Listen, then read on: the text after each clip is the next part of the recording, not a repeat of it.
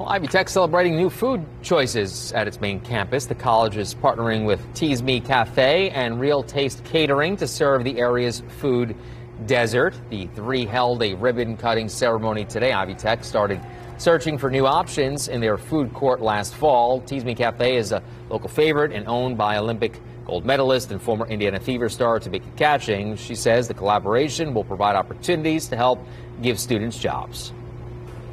The partnership here, we're excited about being able to engage the culinary school, being able to hire the students, being able to get back out in the community to be able to do what we do, which is serve, inspire, and impact.